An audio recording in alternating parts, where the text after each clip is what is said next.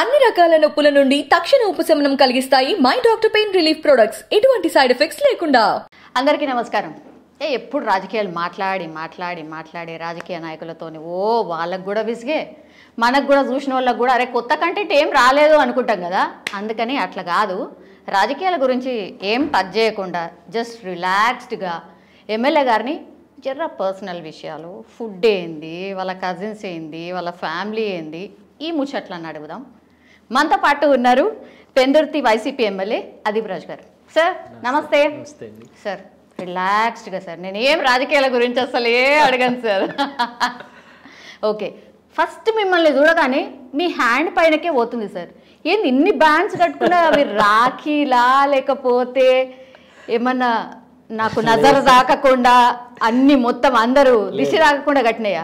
లేదు యాక్చువల్లీ ఇందులో రెండు బాబా గారు మాత్రం నాకు మొదటి నుంచి కూడా పెట్టుకుంటాను. మిగతా ఏదో గుడికి వెళ్ళినప్పుడు లేదంటే అభిమానంతో ఎవరో ఒకరు వచ్చి పార్టీ కార్యక్రమాలకు కడుతుంటారు. సో వాళ్ళ అభిమానంతో కట్టిన మనం ఎందుకు తీయాలి అని చెప్పి అట్లా. అట్లే ఉంచేస్తారు సార్. సార్ ఒక్కసారి కౌంట్ చేయండి. ఎన్ని ఉన్నాయి ఒకసారి? నువ్వు పెట్టారు బ్యాండ్స్ ఉంటాయి. ఒక నైన్ టెన్ ఉంటాయి మొత్తం. నైన్ టెన్ ఓకే అందులో ఎవరు కట్టిండ్రు అనేది ఒక్క పేరు మీద చెప్పగలుగుతారా సార్? ఎవరు కట్టిండ్రు? ఇది మా అబ్బాయి ఇచ్చాడు. ఓకే. మా అబ్బాయి దగ్గరుండి పెట్టి నాన్న ఇది పెట్టుకో అన్నాడు. ఇది అమ్మవారి గుడిలో కనకదుర్గం తల్లి అమ్మవారి గుడిలో. ఇది ఈ రెండు మాకు మొదటి నుంచి ఉండేవి. ఇది నరవలో ఒక పీఠం ఉంటుంది. నరవల పీఠం. ఆ. కంచి పీఠం అని చెప్పి అక్కడ గురూజీ కట్టింది. ఇది అమ్మవారి గుడిలోది. ఇది విజయలక్ష్మి అక్క అని చెప్పి మా వార్డు మహిళా అధ్యక్షురాలు. ఆ అక్క కట్టారు. ఇది గౌరీ లక్ష్మి అక్క కట్టారు అనమాట కట్టిన అలా ఉంచుతాను నేను నల్లది ఒకటి ఏదో మిస్ అయింది ఇది అమ్మ ఇచ్చారు బయట తిరుగుతుంటాను కదా అని చెప్పి చెప్పిన నేను అందుకే నేను అన్నాను దిశ తాగకుండా ఏదో ఒకటి ఉంటది అని. కాదన్నా ఇండిగాన మీరు ఇట్లా ఫుల్ హ్యాండ్ కట్టుకుంటే రాఖీ రోజు ఎడగడతారు మరి రాఖీలు? అంటే రాఖీ అంతా బయట నుంచి పొలిటికల్ సిస్టర్స్ కానీ ఫ్యామిలీలో సిస్టర్స్ లేరు కాబట్టి. లేరా? లేరు లేరు. ముగ్గురం బ్రదర్స్ మేము. నాకన్నా పెద్ద ఇద్దరు అన్నయ్యలు ఉన్నారు. బోర్ కదన్నా. మొత్తం అందరు బాయ్స్ అయితే కొట్టుకుంటుండేనా బాగా? బాగా చూసుకుంటారు. ఇప్పటికీ కూడా అందరం కంబైన్డ్ ఫ్యామిలీయే ఓ! చాలా చక్కగా చూసుకుంటారు. ఎక్కడ కూడా ఇబ్బంది మీరు చిన్ననా? నేను లాస్ట్ ఒకరికి తెలియకుండా ఒకరు బాగా చూసుకుంటారు. గారాబం ఫుల్ ఉంటది అయితే.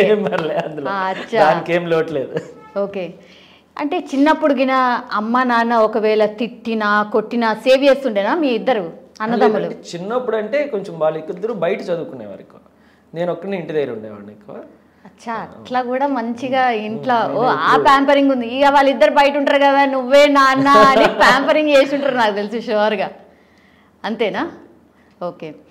చిన్నప్పుడు కొట్లు కానీ తిట్లు కానీ అసలు ఎప్పుడన్నా పడ్డారా? నిజం చెప్పాలన్నా. మీరు నేను ఎమ్మెల్యే కదా నేను చెప్పొద్దు అనుకొని మాత్రం అట్లా ఒక్కొక్కసారి చాలా తక్కువ. అంటే బాగా అల్లరి చేస్తే రెండు మూడు విషయాల్లో ఒకసారి ఏ- ఏదన్నా ఒకటి. ఉండే ఉంటది బాగా గుర్తుండే ఉంటది. బాగా చిన్నప్పుడు దట్ ఈస్ అరౌండ్ ఇంకా school fourth standard fifth standard చదువుతున్నప్పుడు అనుకుంటా. మాకు అప్పుడు వైజాగ్కి ఇప్పటికి అప్పటికి నాన్నగారు ఏదైనా ఫుడ్ తినాలి అంటే ఒక్క దసపల్ల హోటల్ తప్ప ఇక్కడ కూడా ముట్టుకోరు. వైజాగ్ అప్పటికి అదే ఫేమస్ అనమాట ఓకే. ఫ్రైడ్ రైస్ తెచ్చారు నేను రాకముందు అయిపోయింది. ఓ. Chicken fried rice. చాలా ఫేవరెట్ డిష్ అనమాట ఇంట్లో అందరికి. నేను వచ్చి దానికోసం గొడవ పెట్టా. నాకు అదే కావాలి అదే కావాలి అదే ఓపిక పట్టారు పట్టారు పట్టారు. తర్వాత రెండు తగిలే తగలగానే సైలెంట్గా వెళ్ళి కూర్చుంటే మళ్ళీ రాత్రికి నాన్నగారు తెచ్చారు అనమాట గొడవ పెడుతున్నా అంటే. ఓకే. మళ్ళా అది ఫుల్ఫిల్ అయిపోయింది అయిపోయింది. ఓకే ఫుడ్ గురించి ఎట్లాగో ఇక మాట్లాడుకున్నాం కాబట్టి ఏమి ఇష్టం ఫుడ్? ఫుడ్ ప్రత్యేకంగా ఇష్టమనే ఉండదండి. ఫుడ్ కొంచెం కష్టంగా తింటాను యాక్చువల్లీ చాలా తక్కువ. అందుకే సార్ నవ్వున్నారా చాలా తక్కువగా తింటా. అంటే మాక్సిమం అన్నీ కూడా దేవుడికి వదిలేస్తాను నేను బాబా గారికి. అంటే నాన్ వెజ్? నాన్ వెజ్ తింటాను వెరీ లిమిటెడ్గా ఇది మెయిన్ ఏంటంటే రైస్ తిన్నాను రైస్ ఓన్లీ రెండు పూటలు మాత్రమే తింటాను. నెలంతటికి. వారానికి. సారీ వారానికి. వారానికి? రెండు పూటలు. ఏంది సార్ అది? బుధవారం మధ్యాహ్నం ఆదివారం మధ్యాహ్నం మాత్రమే తింటా. దానికి డే కూడా ఉందా? అంటే లక్షవారం ఉపవాసం ఉంటాను నేను. దానికోసమని బుధవారం ఆఫ్టర్నూన్ తింటాను. సండే నార్మల్గా ఇంట్లో అందరం కలిసి ఒక్కోసారి తింటుంటాం కాబట్టి ఒక పూట తింటాను అనమాట ఎందుకు అట్లా పెట్టుకున్నారు? బాబా గారికి వదిలేశాను నేను. అవునా? బాబా గారి డివోటీ నేను. అలాగే స్వీట్ షుగరు జాగ్రత్త చేసిన కూడా ఏమి తిన్ను తాగను. అంటే like sweets chocolates ice creams biscuits cool drinks juices ఇవన్నీ కూడా ఓన్లీ సండే మాత్రమే తింటా. వారానికి ఇంకా అంటే మంత్లీ ఫోర్ టైమ్స్ మాత్రమే స్వీట్ తిన్నా ఏదైనా షుగర్ జాగ్రత్త చేసింది. అచ్చా మేము ఏవైతే తింటామో అవి మీరు తినరు అన్నట్టు అంటే జనరల్గా నచ్చింది వదిలేయాలి అంటారు. సో నచ్చినవన్నీ వదిలేసారు సార్ ఈ- ఏ ఏజ్లో అన్న వదిలేసారు మీరు? ఇది స్వీట్ అది వదిలేసి అయితే ఇట్స్ బీన్ సెవెన్ ఇయర్స్ అండి. ఒక్కసారి నైట్ టైం రైస్ మానేసి అయితే ఫిఫ్టీన్ ఇయర్స్ అవుతుంది. ఉపవాసం ఉండేవాడిని. నేను బాబా గారికి ఇప్పుడు పదహారు సంవత్సరాల నుంచి కూడా లక్షవారం ఉపవాసం ఉంటాను. దాని మీద అప్పుడే అలా అన్నీ కూడా ఒకటి ఒకటి గట్టిగా ఎక్కడనో కొట్టింది అన్న. ఎందుకు అట్లా బాబా గారికి మొత్తం అన్ని అంటే నాకు ఇష్టం ఉన్నాయని వదిలేస్తా? ఇట్లా ఏదో అనుకున్న వాళ్ళే చేస్తారు అంటే గట్టిగా. నాకు ఇది కావాలి అనుకున్న వాళ్ళే అట్లాంటివి చేస్తారు కదా. ఏం కోరుకున్నారన్న ఏ అలాగేం అనుకోలేదు. ఎందుకంటే ఇప్పుడు రెండు వేల నేను వదిలేసి సిక్స్టీన్ ఇయర్స్ అంటే అరౌండ్ టూ థౌజండ్ సెవెన్లోనే ఎప్పుడో నేను ఒంటి పూట రైస్ అనుకున్నది మొదలుపెట్టా. అప్పుడు నాకేం కోరికలు కూడా లేవు. అప్పుడు సర్పంచ్ అయ్యాను. సింపుల్గా ఉన్నాను హ్యాపీ రిలాక్స్డ్గా ఉన్నాను అంతే. అలా ఇంకా నాకు అంతే ఏమీ కోరుకోవడం లేదు. అది ఏదో గుడికి వెళ్ళి మొక్కుకొని కోరుకునేది కూడా లేదు. ఇలా కూర్చొని అలా అనుకొని మీకు వదిలేస్తున్నాను బాబా గారిని మనసులో అనుకోవడం వదిలేయడం అది. ఏదైనా అంతే. మరి ఇంకా ఆ జోలికి వెళ్ళను. ఓకే. బాబా గారి మీద ఎందుకు అంత గురి? అంటే ఎక్కడో సమ్ ఫీల్ ఏదో ఒక పాయింట్లో వచ్చి ఉంటది కదా నిదర్శనం కనబడుతుంది. చాలా నాకంటే నేను చాలా సందర్భాల్లో కొన్ని హార్డ్ టైమ్స్లో ఓకే. కొన్ని హార్డ్ టైమ్స్ ఇంక నేను ఇది ఈ సిచ్యువేషన్ నుంచి బయటికి రాలేను. ఇంక నేను హ్యాండిల్ చేయలేను అనుకున్నటువంటిది. విత్ ఇన్ అవర్స్లో అది మొత్తం మళ్ళీ ఎవరైతే నాకు ఫోన్ చేసి నువ్వు ఇబ్బంది పడతావు చూసుకో అని చెప్పినాలో అన్న సారీ అన్న తప్పు అయిపోయింది వావ్. ఉమ్. అవునా? ఆ. నేను ఏదో కోపంలో అనేసానన్న ఏమనుకోక అనేటువంటి పరిస్థితులకు వచ్చి దివ్య దృష్టి లాంటిది ఏమన్నా ఉందా అన్న మీకు? అంటే ఇట్లా చూడంగానే నా గురించి కూడా మీరు ఏమైనా చెప్పగలుగుతారా? అలాంటివి లేదు. అలా జరిగితే ఇంటర్వ్యూ కూర్చునే లేదు. మీరు ఏ ప్రశ్నలు అడుగుతారో కూడా ముందు తెలిసిపోవాలి అలా అయితే. అది కూడా కరెక్టే అన్న. అలా ఏముండదు అంటే ఆయన మొదటి నుంచి కూడా నాకు ఎందుకో బాబా గారిని బాగా ఇప్పుడు నేను షిరిడి మాల కూడా సంవత్సరానికి రెండు సార్లు ఖచ్చితంగా వేసుకుంటా. అయ్యప్ప స్వామి మాల లాగా షిరిడి మాల వేసుకుంటాను. అంటే ఈ కోవిడ్ తర్వాత కొంచెం గ్యాప్ వచ్చింది. కానీ ఖచ్చితంగా వేసుకున్నాను. మొదటి నుంచి బాబా గారు అంటే నాకు అది అలాగని రోజు గుడికి వెళ్తాను రోజు దండం పెట్టుకుంటాను రోజు పూజలు చేస్తాను అదే లేదు. అలా లేదు. నాకు ఏదైనా ఉన్నా నేను తిన్నా నేను దగ్గినా ఏం చేసినా నాకు చిన్న ఒళ్ళు అలసట అనిపించినా ఓం సాయిరామ్ సాయినాథ అంతే. అలా మనసులో తలుచుకొని వెళ్ళిపోవడమే తప్ప ప్రత్యేకంగా నేను గుడికి వెళ్ళాలి రోజు లేదంటే దీపం పెట్టాలి పూజ చేయాలను. ఆయన మనసులో మాత్రం ఆయన సంకల్పం ఉంటుంది. ఇప్పుడు తలుచుకుంటాను. ఏదైతే కొన్ని కండిషన్స్ బాగుండాయనో నేను అలా బాగుండే ఉంటాను ఖచ్చితంగా ఓకే. చిన్నప్పటి నుంచి మీకు ఏం కావాలని ఉండే అన్న? అంటే ఇట్లా రాజకీయాల్లోకి రావాలని ఉండేనా. లేకుండే. ఆల్ ఆఫ్ సడన్ అట్లా అవునా? డిగ్రీ సెకండ్ ఇయర్ చదువుతూ. Okay. No one since my ancestors were to politics లేరు కాబట్టి ఇప్పుడు రాజకీయాల్లో అనేటువంటి ఫీలే లేదు. ఇప్పుడు ఎవరైనా పొలిటికల్గా అందులో ఉన్నారనుకోండి. ఓకే నాన్నగారు నాన్నగారు తర్వాత లేదు అన్నయ్య తర్వాత నేను అనేటువంటి ఇది ఉండేది. ఎప్పుడు అది ఆ ఫీల్డ్లో లేము కాబట్టి నాకు యాక్చువల్లీ క్రికెట్ బాగా ఇంట్రెస్ట్ క్రికెటర్ అవ్వాలి అని అయితే ఉండేది. ఓకే. టూ థౌజండ్ ఆ టైంలో I played for college nationals కూడా. ఇంకా తర్వాత ఇంకా క్లిక్ కావాలి. అప్పుడు ఉన్నటువంటి ఇప్పుడు ఉన్నటువంటి సపోర్ట్కి ఆ ఎమ్యూనిటీస్ అప్పుడులో అన్ని ఉండేవి కాదు. మ్మ్. మాకు మేము ఉండేది పల్లెటూరులో. సిటీ అంటేనే అది దీని కింద ఉండేది. అంత సీరియస్గా కాన్సన్ట్రేట్ చేసేటువంటి ఎందుకంటే క్రికెట్ కూడా ఎందుకంటే నాన్నగారు బాగా క్రికెట్ ఆడేవారు. అచ్చా ఓకే. సో అట్లా మీకు ఇంట్రెస్ట్ వచ్చింది ఏదైనా ఎక్కడో ఒక దగ్గర మన ఫ్యామిలీలో ఒక దగ్గర నుంచి ఉంటే అది మనం తీసుకోవాలి టేక్ ఓవర్ చేయాలని ఆ సపోర్ట్ కూడా అట్లా నాన్నగారు ఇచ్చేవారు క్రికెట్లో అది కూడా ఆ రకంగా తర్వాత మరి ఇంకా పాలిటిక్స్లోకి వచ్చేసాం ఓకే. ఇది కూడా ఒకలాంటి క్రికెటే ఏమంటారన్న?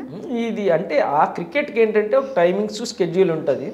ఇది twenty four by seven cricket ఇందులో ఎక్కువ ఎవరు హిట్ అవుతారు నా బాలరా బ్యాటరా ఫీల్డరా ఎవరు హిట్ అవుతారు? ఈ దాంట్లో. మీరున్న దాంట్లో ఇప్పుడు. అంతేనా? లీడర్ ఏది జరిగినా ముందు క్యాప్టెన్ బౌలర్ తప్పు చేసినా ఫీల్డర్ తప్పు చేసినా కీపర్ తప్పు చేసినా బ్యాట్స్మెన్ తప్పు చేసినా కెప్టెనే కదా. ముందు పడేది మన మీద అనమాట ఎవరు ఎక్కడ ఏం చేసినా సరే తిరిగి తిరిగి మళ్ళీ తిరిగి మన మీదకి వస్తుంది. ఇందులో హోల్ రెస్పాన్సిబిలిటీ ఇప్పుడు ఓడిపోయిన తర్వాత మనం గెలిచినా ధోనినే అంటాం ఓడిపోయినా ధోనినే అంటాం. కరెక్ట్ అంతే కదా. అలాగే ఇప్పుడు ఈడ కూడా అంతే. సేమ్ మీ ఫేవరెట్ ఎవరు ప్లేయర్ అంటే మీరు బ్యాట్స్మెన్ సార్. బ్యాట్స్మెన్ ఓకే ఎవరు ఇన్స్పిరేషన్ ఉన్నారు బాగా? సచిన్. Of course Sachin. నాకు ఇప్పటికీ కోరిక ఇప్పటికీ కోరిక ఏంటంటే లైఫ్లో ఒక్కసారి ఏదో రకంగా సచిన్ టెండూల్కర్తో ఒక ఫోటో. అవునా? Dream oh God! అంతే. ఐ డ్రీమ్లో కూర్చొని మీ డ్రీమ్ గురించి చెప్తారు సూపర్. సచిన్ టెండూల్కర్తో ఫోటో తీసుకోవాలి. ఓకే పాసిబుల్ అవుతుందా? ట్రై చేసిర్రు ఎప్పుడైనా సీరియస్గా కుదరలే. అరే ఎమ్మెల్యే కూడా కుదరకపోతే ఇక- మా ఎమ్మెల్యే అయిన తర్వాత కుదరలే. లేకపోతే? ఎందుకంటే కొంచెం ఇంకా మనం మన మన డ్రీమ్స్ పక్కన పెట్టాలి. జనాల తాలూకా డ్రీమ్స్ మీద దృష్టి పెట్టాలి కదా. దానివల్ల. దానివల్ల మనం అది అట్లా హోల్డ్ అవకాశం వస్తే చూద్దాంలే. ప్రత్యేకంగా దాని మీద దృష్టి పెట్టి చేసేటువంటి పరిస్థితి. కానీ మస్తు మ్యాచెస్ లైవ్ మ్యాచెస్ మస్తు అయితే కదన్నా. పోయినరా ఎప్పుడన్నా? నిజంగా డైరెక్ట్గా అయ్యో అట్లా వైజాగ్లో జరిగే మ్యాచెస్లో కూడా నేను ఎప్పుడో ఒక నేను గెలిచిన తర్వాత ఒక ఆరో ఏడో మ్యాచ్లు అయినట్టున్నాయి. ఒక్క దానికి అటెండ్ అయ్యాను. ఒక అరగంట కూర్చొని వచ్చేసాను ఎందుకంటే ఆ రోజు ఏదో మీటింగ్ ఉంటుంది ఏదో ప్రాబ్లం ఉంటుంది ఏదో ఉంటుంది. మన నేను నైన్ టు ఫైవ్ ఉద్యోగం కాదు కదా. Okay okay. ఎప్పుడన్నా అనిపించిందన్న అబ్బా ఏందిరా బాబు ఇలాంటి దానికి ఎందుకు వచ్చిన నాయన నేను ఏదో అవుదాం అనుకుంటే ఇదేదో అయింది అని అట్లా ఏమైనా అనిపించింది ఎప్పుడన్నా? అలా అనిపించలేదు కానీ ఎప్పుడైనా ఒక మూడు నాలుగు రోజులు ఎక్కడికి నేను శుభ్రం పడుకుని పోవాలని అయితే అనిపించింది. నిద్ర ఉండదు. నేను ఫుడ్ లేకపోయినా ఉండగలను కానీ నిద్ర లేకపోతే ఉండలేదు ఓకే. ఓవర్ వర్క్ లోడ్ వల్ల. ఎక్కడికైనా సిగ్నల్ లేని దగ్గరికి ఒక త్రీ డేస్ హ్యాపీగా పడుకుంటే మళ్ళీ సంవత్సరం అంతా పని చేయొచ్చు అనుకుంటాం కుదరదు ఎప్పుడు. మ్మ్. రోజుకి ఎన్ని కాల్స్ మాట్లాడతారన్న? రోజు ఎంతమంది కలుస్తారు? చెప్పలేం పరిస్థితి బట్టి. ఆఫీస్ దగ్గర అయితే రోజు మినిమం త్రీ హండ్రెడ్ తక్కువ ఉంటారు డైలీ మార్నింగ్ గ్రీవియన్స్ అంటే three hundred to four hundred maximum eight hundred nine hundred కూడా కలుస్తుంటాం వస్తుంటారు. ఒక్కోసారి అసెంబ్లీ టైంలో త్రీ ఫోర్ డేస్ కంటిన్యూస్గా లేకుండా వెళ్ళాము. అంతా ఒకసారి పడతాం. అందరితో ఓపిక్గా మాట్లాడి పంపిస్తుంటాం. తప్పదు కదా. అమ్మో చాలా ఓపిక అంటే మాది కాన్స్టిట్యున్సీ కొంచెం సెమీ అర్బన్ ఇటు రూరల్ ఉంటుంది అటు అర్బన్ ఉంటుంది.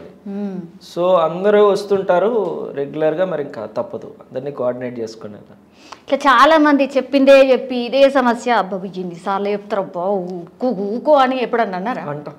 అంటారా? వాళ్ళు ఎట్లా రిసీవ్ చేసుకుంటారు? భయపడతారా? అసలు మిమ్మల్ని చూస్తే ఎవరైనా భయపడతారా అంటే నాకు ఉన్నటువంటి ప్లస్ అదే మైనస్ అదే. నన్ను ఏదేనంటే ఏం మొన్నే చెప్పా చెప్పాను కదా వెంటనే అయిపోలే అంటే ఎలా అంటే మళ్ళీ చెప్పండి సార్. మీరు చెప్తారు సార్ నాకు తెలుసు సార్. ఇంకా. అవును నిజమే. అందరూ కూడా ఏంటంటే మెయిన్ నేను ఈ లీడర్స్తో కానీ కాన్స్టిట్యున్సీలో ఉన్న లీడర్స్ అందరితో నేను నేను వాళ్ళతో పాటు ఒక కార్యకర్తగానే నా జర్నీ స్టార్ట్ అయింది. నేను డైరెక్ట్ డైరెక్ట్ రావడం ఒక ఎమ్మెల్యేని అవ్వలేదు నేను అందరు సర్పంచులతో ఒక సర్పంచ్లా స్టార్ట్ అయ్యి అక్కడి నుంచి నేను ఒక నాయకుడైన ఖాతాలు తిరిగి వీళ్ళందరితో కలిసి ఆ నాయకుని గెలిపించమని తిరిగి అందరితో కలిసి కట్టుగా ఉండడం వల్ల అందరికీ కూడా ఒక అటాచ్మెంట్ కొత్తగా ఎవరో ఒక ఎమ్మెల్యేని చూసినట్టు నన్ను ఎవరో చూడరు. వాళ్ళు ఫ్రెండ్లీగానే వస్తారు చెప్తారు చేస్తారు. ఒకళ్ళు అయితే నేను ఒకసారి అంటే నిన్నే వచ్చి రోజు ఏదో సమస్య పట్టుకొని వస్తే రోజు నా సమస్య ఏంటంటే గ్రామం సమస్య మీరే ఎమ్మెల్యే అవ్వాలి. తిరిగి నన్ను తిడతారు తిరిగి "ఆ, ఓకే బాబు రా అయితే నువ్వు వెళ్ళకని చెప్పి కూర్చోబెడతాం. కామన్ ఇంకా అంటే ఎక్కడో దగ్గర ఒక స్ట్రెస్ అనేది బర్స్ట్ అవుతుంటుంది రోజు కంటిన్యూస్గా దీంట్లో ఉన్నప్పుడు. అయితే ఈ విషయంలో డెఫినెట్లీ ఫ్యామిలీ మిమ్మల్ని మిస్ అవుతుంది ఇదైతే అర్థమైపోయింది. ప్లీజ్ కొంచెం ఒక పది నిమిషాలు మా కోసం కూర్చోవా అన్న సందర్భాల్లో రిక్వెస్ట్ చేసిన సందర్భాలు ఉన్నాయా మీ ఫ్యామిలీలో? అలా రిక్వెస్ట్ కాదు కానండి. యాక్చువల్లీ మా wife she's from political family doctor చేసింది. ఎంబీబీఎస్ అయింది. అయితే వాళ్ళ ఫాదర్ కూడా వాళ్ళ బాబాయ్ ఎంపీపీ ఇంకొక బాబాయ్ ఆర్ఈసీఎస్ డైరెక్టర్ కింద వాళ్ళ ఫాదర్ సర్పంచ్ అది అన్నీ కూడా చేశారు కాబట్టి కొంత తనకి తెలుసు. ఓకే. అయితే అమ్మ బాబు వీళ్ళకి ఇంకా అంతగా వినేది కాబట్టి బాధ అనిపించింది ఎక్కడంటే బాబు బాగాన నా ఎలక్షన్కి ప్రతి చాలా ఇల్లు తిరిగాడు. మా నాన్నగారికి ఒక అవకాశం ఇవ్వండి మా నాన్నగారికి ఒక అవకాశం ఇవ్వండి చిన్నోడు పాపం. ఫోర్ ఇయర్స్ ఎక్కడ పెద్ద బాబా అంటారేమో అని ఫోర్ ఇయర్స్ ఇప్పుడు ఇప్పుడు సెకండ్ స్టాండర్డ్కి వస్తున్నాడు. నా ఎలక్షన్ టైంలో తిరిగి చెప్పాడు.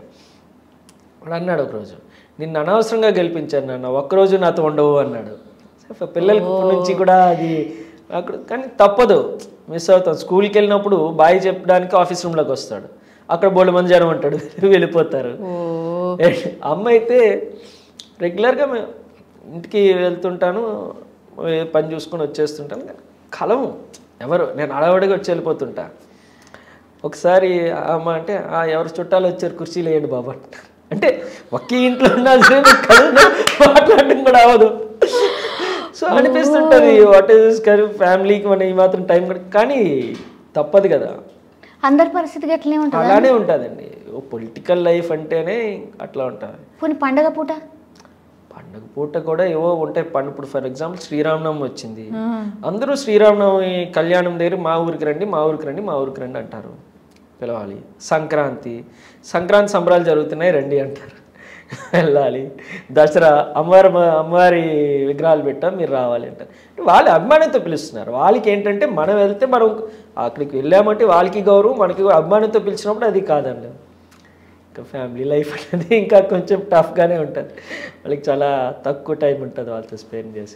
పేరెంట్స్ టీచర్స్ మీటింగ్ ఎప్పుడన్నా పోయినరా మీరు? లేదు ప్రతిసారి వాడు పిలుస్తాడు. ప్రోగ్రెస్ రిపోర్ట్ ఎప్పుడన్నా చూసిరా మీకు?